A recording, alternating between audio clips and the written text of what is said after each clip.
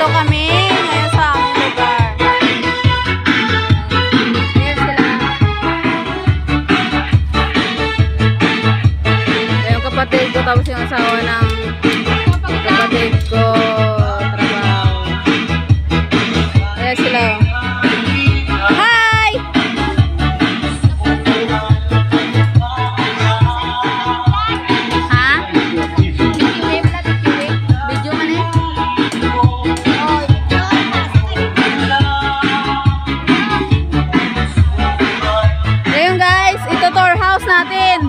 Bahay.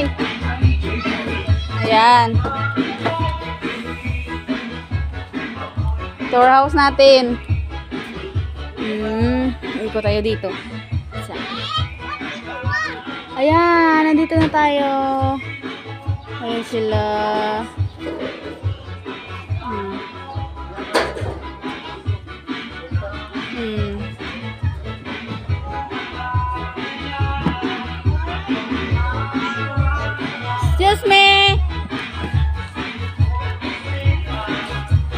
Tour house natin yung bahay nila.